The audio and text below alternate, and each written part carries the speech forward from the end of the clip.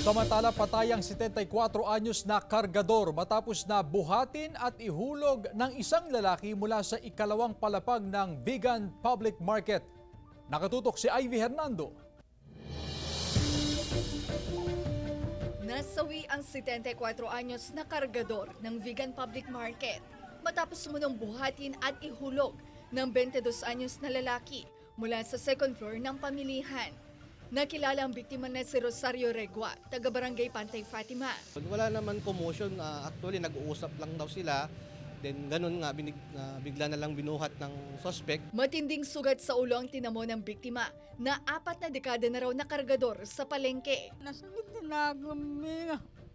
Um, papag, naglalo ka ni mamang ko, ta dinamo, tinibagami nga nataka ni Papa. Yung hospital mi kita magkunang, kaya high blood. Tumanggi na ang humarap sa kamera ang ama ng sospek. Ngunit paliwanag niya sa news team na kararanas ng depression at bipolar disorder ang anak. Naipakonsulta na raw sa doktor at kasalukuyan sumasailalim sa gamutan.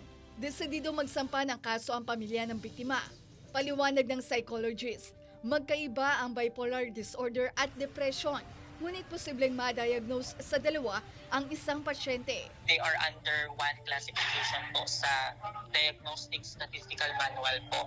Nakararanas ng kalungkutan, kawalan ng gana, pagbabago sa timbang, madalas na pagod, kawalan ng konsentrasyon at halaga. Ang ilang sintomas ng depression ayon sa psychologist. Ayon sa eksperto, kailangan na sumailalim sa psychotherapy at kung kinakailangan ay gamutan ang isang nakararanas ng ganitong kondisyon. Doon sa bipolar 1 po kasi ma'am, uh, pwede po itong ma-associate with um, psychotic symptoms such as yung pagkakaroon ng delusion and yung hallucination. Kasama si Norman Raka, Ivy Hernando, 1 North Central Luzon.